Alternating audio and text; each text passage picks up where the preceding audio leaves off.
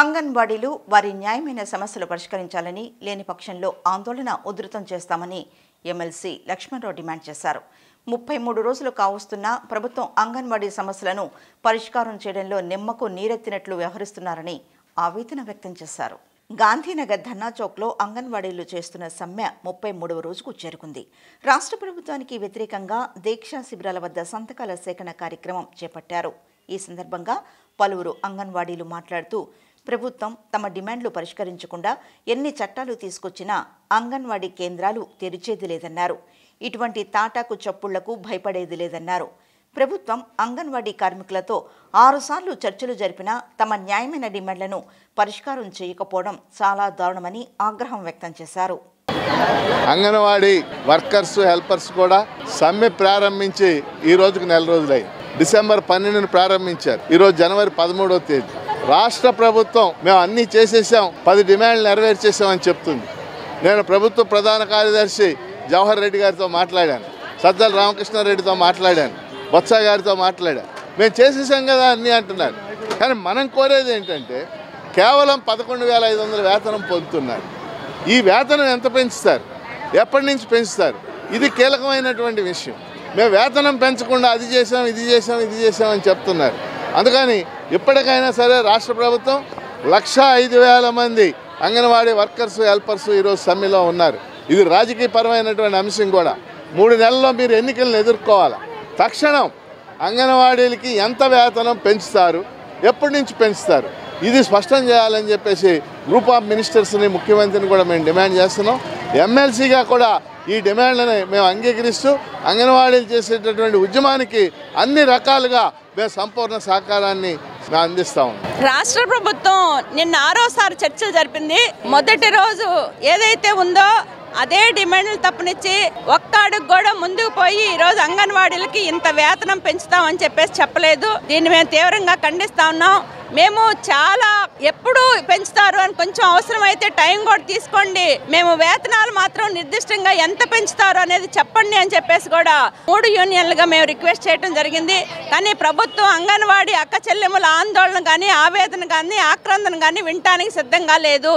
ఈరోజు పండగ రోజులు కూడా అంగన్వాడీలకి టెంటుల్లో ఉంచడానికే ఈ ప్రభుత్వం సిద్ధపడతా ఉంది. దీన్ని మేము ఎట్టి పరిస్థితుల్లో రాష్ట్ర ప్రభుత్వం మొండి వైఖరిని మేము అంగీకరించే సమస్య లేదు. మా పోరాటాన్ని కొనసాగిస్తాం. ముప్పై మూడు రోజులు జరుగుతూ ఉంది. ఈరోజు మా పోరాటం ప్రభుత్వం దిగి వచ్చేంత వరకు మా సమ్మె కొనసాగించాలని చెప్పేసి మేము నిర్ణయించుకున్నాం. అలానే ఉడతోపు తాటాకు చప్పుళ్ళకి అంగన్వాడీలు భయపడరు అని చెప్పేసి కూడా ఈ సందర్భంగా హెచ్చరిక చేస్తూ ఉన్నాం. ప్రభుత్వం వెంటనే అంగన్వాడీలకు ఇచ్చిన మాట ప్రకారం వేతనాలు పెంచాలి గ్రాట్యుటీ అమలు చేయాలి. అంతవరకు మా పోరాటం కొనసాగిద్దని చెప్పేసి ఈ సందర్భంగా ఈ ప్రభుత్వాన్ని హెచ్చరిస్తున్నాం. ఈ గవర్నమెంట్ చాలా దారుణంగా వ్యవహరిస్తున్నది.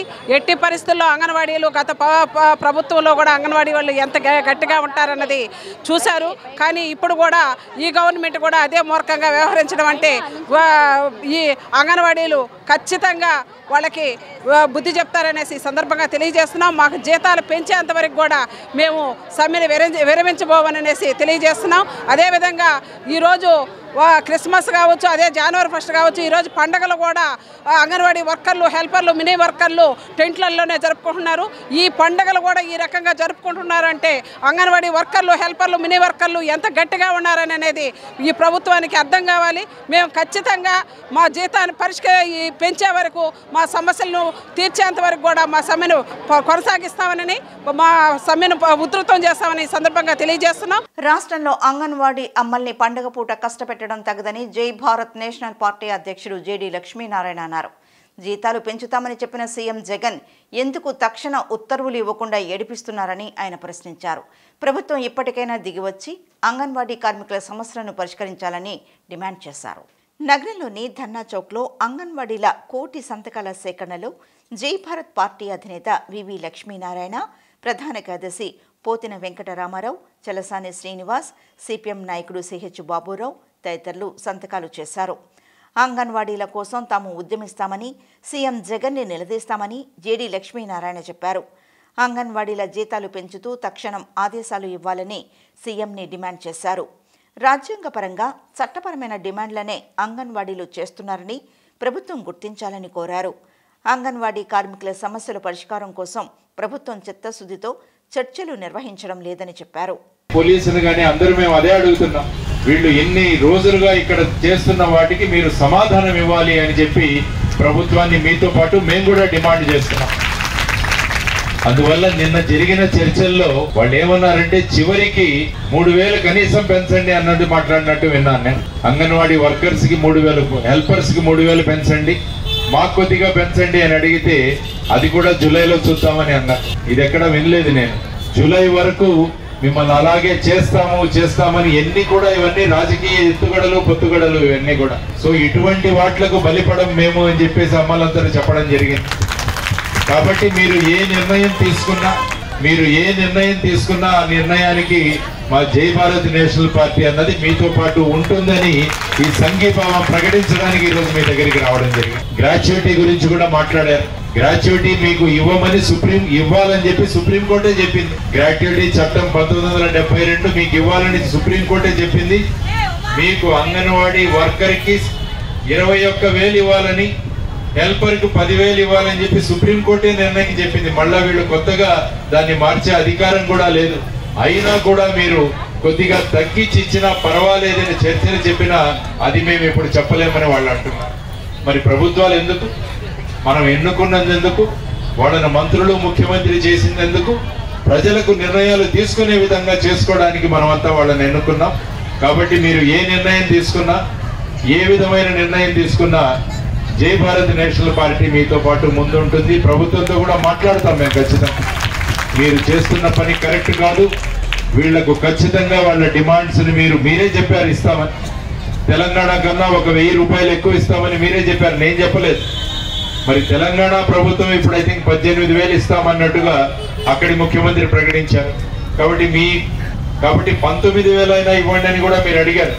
మీ డిమాండ్ ఇరవై ఆరు వేల సుప్రీంకోర్టు ఇరవై ఒక్క వేలు చెప్పింది మీ డిమాండ్ ఇరవై ఆరు వేలు. అయినా కూడా మేము అక్కడికన్నా ఒక వెయ్యి ఇస్తే చాలన్న స్థాయికి కూడా మాట్లాడితే అది కూడా మేము చెప్పలేమంటున్నాం. రాష్ట్రంలో ఏ పేదవాడు కూడా ఆర్థిక పరిస్థితుల కారణంగా వైద్యానికి దూరం కాకూడదనేదే సీఎం జగన్ సంకల్పమని ఆ పార్టీ తూర్పు నియోజకవర్గ ఇన్ఛార్జ్ దేవినేని అవినాష్ అన్నారు. నిరుపేదలకు ముఖ్యమంత్రి సహాయ నిధి వరమని చెప్పారు. తూర్పు నియోజకవర్గ వైసీపీ కార్యాలయంలో నాలుగో డివిజన్కి చెందిన దాసం ఉమామహేశ్వరరాజుకి ఏడు లక్షలు పంతొమ్మిదో డివిజన్కి చెందిన వరిగుండ సూర్యకళికి రెండు లక్షల యాభై వేలు ఇరవై రెండో డివిజన్కి చెందిన కసిరెడ్డి పేరెడ్డికి లక్ష ముప్పై వేలు ముఖ్యమంత్రి సహాయనిధి చెక్కులను అందజేశారు. ఈ సందర్భంగా అవినాష్ మాట్లాడుతూ ఆరోగ్య ఆంధ్రప్రదేశ్ లక్ష్యంగా సీఎం జగన్ మరిన్ని సేవలు కలిపి బృహత్తరమైన ఆరోగ్యశ్రీ పథకం ప్రవేశపెట్టారన్నారు. ఈ పథకం కింద మన రాష్ట్రంలోనే కాకుండా పొరుగు రాష్ట్రాల్లో కూడా మెరుగైన వైద్యం చేపించుకోవడానికి వీలు కల్పించారని తెలిపారు. నిరుపేదల సంక్షేమం కొరకు ఎల్లప్పుడూ తపనపడే వ్యక్తి జగనని కొనియాడారు. ఆరోగ్యశ్రీ పరిధిలోకి రాని రోగాలకు వారి చికిత్సకైన నగదు మొత్తం హాస్పిటల్ నుండి వచ్చిన తర్వాత ముఖ్యమంత్రి సహాయ నిధికి అర్జీ పెట్టుకుంటే ఇస్తారన్నారు. తూర్పు నియోజకవర్గ పరిధిలో ఈ నాలుగేళ్ళ కాలంలోనే కోట్ల రూపాయల చెక్కులు పంపిణీ చేశామన్నారు. గతంలో ముఖ్యమంత్రి సహాయ నిధికి పెట్టుకోవాలి అంటే తెలుగుదేశం నాయకులకి లంచాలు ఇవ్వాల్సిన పరిస్థితులు ఉండేవని కానీ ఇప్పుడు ఎవరికీ లంచాలు ఇవ్వకుండా పారదర్శకంగా పథకం అమలు జరుగుతుందని తెలిపారు. ఈ కార్యక్రమంలో పంతొమ్మిది డివిజన్ కార్పొరేటర్ రెహనా నహీద్ నాలుగో division incharge Galla Ravi YCP నాయకులు సొంగ రాజ్ కమల్ పాల్గొన్నారు. నియోజకవర్గానికి సంబంధించి ముఖ్యమంత్రి సహాయ నిధి కింద దాదాపుగా పది లక్షల ఎనభై వేల రూపాయలు గౌరవనీయులు ముఖ్యమంత్రి జగన్మోహన్ రెడ్డి గారి ఒక నాయకత్వంలో నాలుగో డివిజన్కి సంబంధించిన పెద్దలు మరీ ముఖ్యంగా నగర బీజేపీ అధ్యక్షుడిగా పనిచేసి చనిపోయిన పెద్దలు దాసం ఉమామహేశ్వర రాజు గారికి దాదాపుగా ఎనిమిది లక్షలు ఖర్చు అవుతే ఏడు లక్షల రూపాయలు ముఖ్యమంత్రి జగన్మోహన్ రెడ్డి గారి ఒక నాయకత్వంలో ముఖ్యమంత్రి సహాయ నిధి కింద ఈరోజు డబ్బులు అందజేయడం జరిగింది. అదేవిధంగా పంతొమ్మిదో డివిజన్కి సంబంధించిన సూర్యకళ గారు కానివ్వండి ఇరవై రెండో డివిజన్కి సంబంధించిన కసిరెడ్డి గారు కానివ్వండి రెండు లక్షల యాభై వేలు లక్ష ముప్పై వేలు మొత్తం గారు పది లక్షల ఎనభై వేల రూపాయలు సోదరిమణి కార్పొరేటర్ రెహనా నాయుడు గారు అదేవిధంగా పెద్దలు నాలుగో డివిజన్ అధ్యక్షులు గల్లా రవి గారి చేతుల మీదుగా అందజేస్తారు. ఈరోజు జగన్మోహన్ రెడ్డి గారు ఒక మంచితనం. జగన్మోహన్ రెడ్డి గారు ఒక గొప్పతనం. వేరే పార్టీ అయినా పార్టీలకు అతీతంగా కులాలకు అతీతంగా మతాలకు అతీతంగా నేను అండగా ఉంటాను అని చెప్పటానికి ఉదాహరణే ఈరోజు ఉమామహేశ్వర రాజు గారికి ఏడు లక్షల రూపాయలు సీఎం రిలీఫ్ అని అందజేస్తాం. ఎవరు చేస్తారు ఇలాగా? చంద్రబాబు చేయగలరా? వేరే నాయకులు ఎవరైనా చేయగలరా? ఈరోజు మనకు శత్రువు అనుకుంటే తనకి చెరువు జరగాలని చెప్పని కోరుకునే సమాజం ఉన్న ఈ రోజుల్లో ఈరోజు ఏ పార్టీ అయినా పర్వాలేదు. సాయం కోసం వచ్చినా సంక్షేమ పథకాల కోసమైనా ఏ పార్టీ అయినా ఓటేసినా ఓటేయకపోయినా వాళ్ళకి న్యాయం చేయాలని చెప్పని ఆలోచించే మనసున్న ముఖ్యమంత్రి ఎవరైనా ఉన్నారంటే అది ముఖ్యమంత్రి వైఎస్ జగన్మోహన్ రెడ్డి గారు. కేవలం ఈరోజు ఒక్క ఉమామహేశ్వరరాజు గారికే కాదు గతంలో గారా తెలుగుదేశం పార్టీ మేము పక్కా తెలుగుదేశం పార్టీ అన్న వాళ్ళకి గారు సంక్షేమ పథకాలు. ఈరోజు ఈ యొక్క నియోజకవర్గంలో డివిజన్ అధ్యక్షులుగా డివిజన్ కార్పొరేటర్లుగా మాజీ కార్పొరేటర్లుగా పనిచేసిన తెలుగుదేశం పార్టీ నాయకులకు గారా సంక్షేమ కార్యక్రమాలు అందజేస్తుంది ఈరోజు జగన్మోహన్ రెడ్డి గారి ప్రభుత్వం. ఈరోజు విద్య కానివ్వండి వైద్యం కానివ్వండి ఈ దేశంలో ఏ ముఖ్యమంత్రి గారు ఆలోచించిన చేయని విధంగా ఒక కొత్త వరవది తీసుకొచ్చి విద్యా వ్యవస్థలో వైద్య వ్యవస్థలో కొత్త మార్పులు తీసుకొచ్చి దేశంలోనే మిగిలిన రాష్ట్రాలకి ఆదర్శంగా నిలిచే ప్రభుత్వం నిలిచిన గవర్నమెంట్ నిలిచిన రాష్ట్రం ఏదో ఉందంటే అది ఆంధ్రప్రదేశ్ ప్రభుత్వం ఆంధ్రప్రదేశ్ రాష్ట్రం. జగన్మోహన్ రెడ్డి గారు ఒక నాయకత్వంలో ఆ విధంగా చేసుకుంటూ జరుగుతూ జరిగింది. సంక్రాంతి పండుగను పురస్కరించుకొని ప్రయాణికుల రద్దీని తట్టుకునేందుకు ఆర్టీసీ అధికారులు అన్ని ఏర్పాట్లు చేశారు. ప్రయాణికుల రద్దీ అధికంగా ఉన్న రూట్లలో ప్రత్యేక సర్వీసులను నడుపుతున్నారు. సంక్రాంతి పండుగ సందర్భంగా తెలంగాణ బెంగళూరు లాంటి ప్రాంతాల నుండి వస్తున్న ప్రయాణికుల సౌకర్యార్థం ప్రత్యేక బస్సులను నడుపుతున్నామంటున్న APSRTC Vijayawada chief traffic manager Basheer అహ్మద్తో మా ప్రతినిధి Malleswararao face to face. Sankranti పండుగ వచ్చిందంటే చాలు. రాష్ట్ర ప్రభుత్వం అటు ఆర్టీసీ రెండు జాయింట్ ఆపరేషన్లో వివిధ ప్రాంతాల అంటే ఆంధ్రప్రదేశ్కి సుమారు దాదాపు కొన్ని వేల గ్రామాల నుండి ఆంధ్రప్రదేశ్ వైపు కన్నెత్తి చూస్తున్నారు. ఈ నేపథ్యంలో తెలంగాణ నుంచి కానీ ఇతర ప్రాంతాల నుంచి ఆర్టీసీ సేవలు ప్రయాణికులకు అందుబాటులో ఉంచిన నేపథ్యంలో మనతో పాటు ఏపీఎస్ఆర్టీసీ శ్రీపో మేనేజర్ గారు ఉన్నారు. సార్ చెప్పండి ఆర్టీసీ ఈ రోజున సంక్రాంతి పండుగ సందర్భంగా ఎన్ని బస్సులు ప్రయాణికు అందుబాటులో ఉంచారు? ఏ ఏ ప్రాంతాల నుంచి ఎక్కువ బస్సులు నడవడానికి నిర్ణయం తీసుకున్నారు? అందరికీ నమస్కారం. ఈ రోజున మరి సంక్రాంతి సందర్భంగా ఎక్కువ ఉధృతి అనేది ఉంది ట్రాఫిక్ అనేది సర్జ్ ఉన్నది.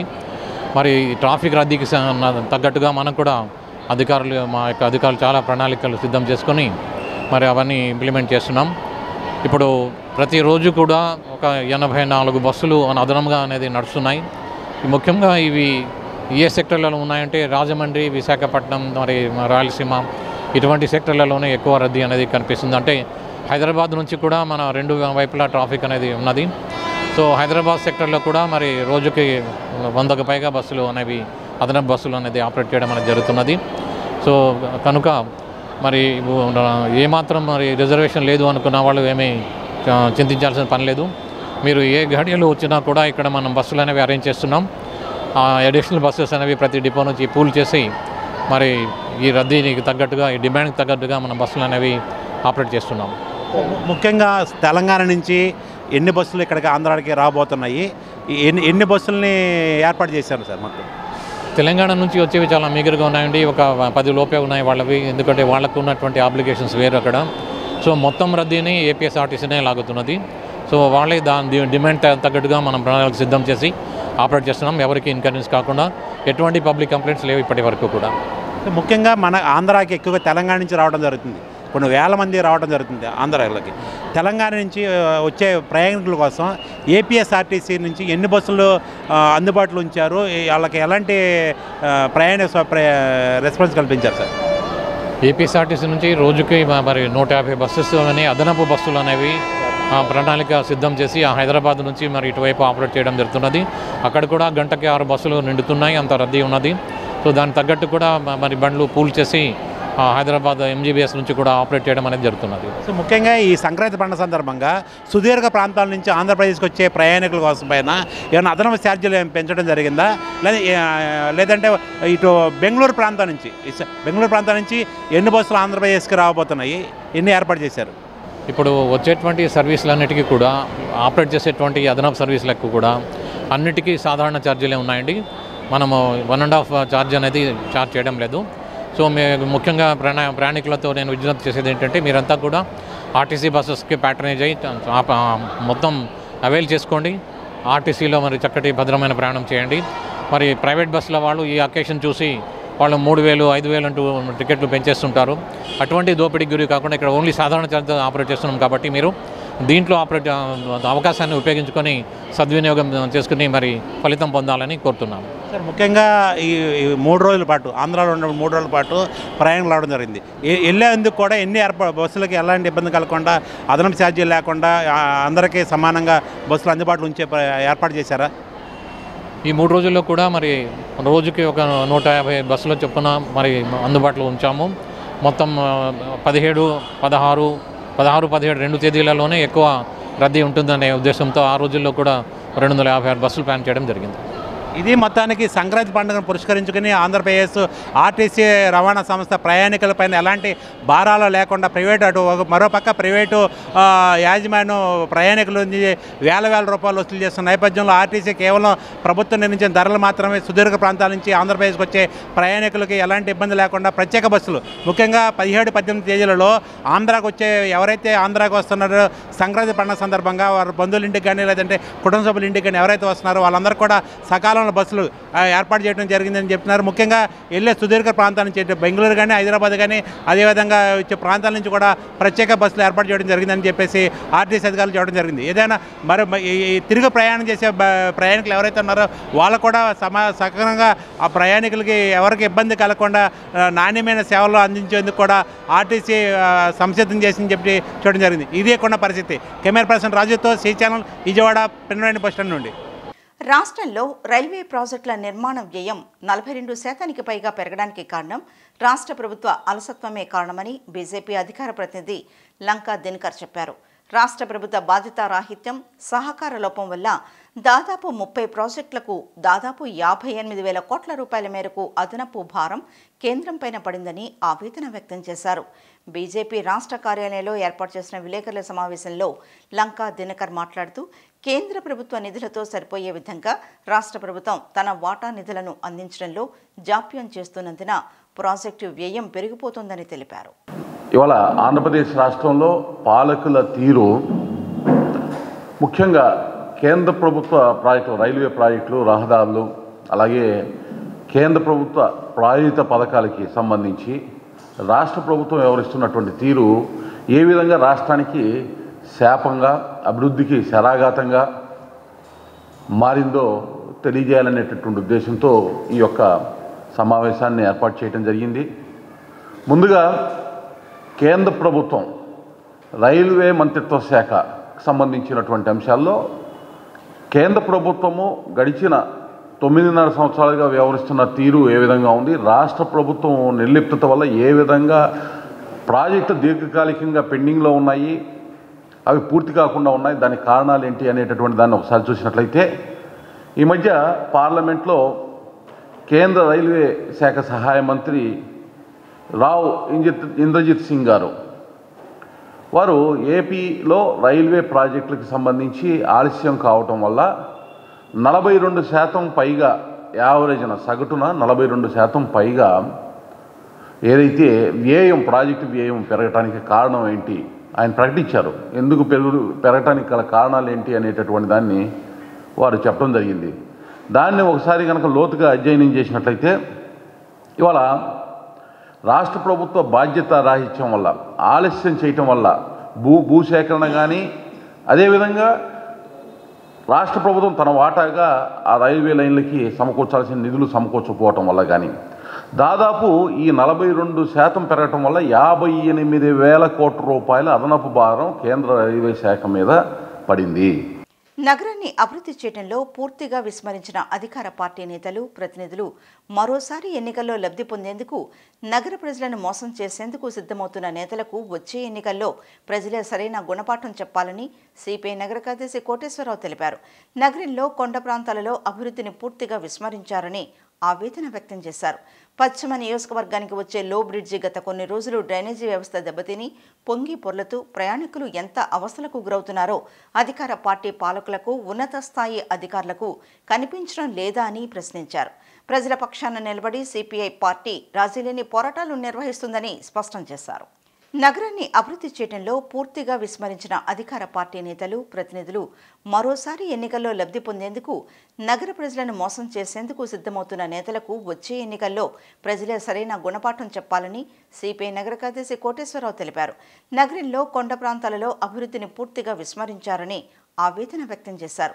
పశ్చిమ నియోజకవర్గానికి వచ్చే లో బ్రిడ్జి గత కొన్ని రోజులు డ్రైనేజీ వ్యవస్థ దెబ్బతిని పొంగి పొర్లుతూ ప్రయాణికులు ఎంత అవస్థలకు గురవుతున్నారో అధికార పార్టీ పాలకులకు ఉన్నత స్థాయి అధికారులకు కనిపించడం లేదా అని ప్రశ్నించారు. ప్రజల పక్షాన నిలబడి సిపిఐ పార్టీ రాజీలేని పోరాటాలు నిర్వహిస్తుందని స్పష్టం చేశారు. నగరపాలక సంస్థ పాలకపక్షం ఏర్పడి సుమారు మూడు సంవత్సరాలు అవుతా ఉన్నది. అలాగే శాసనసభలు ఎన్నికల ఎన్నిక కాబడి నాలుగు సంవత్సరాల పది మాసాల దగ్గర దగ్గర నడుస్తుంది.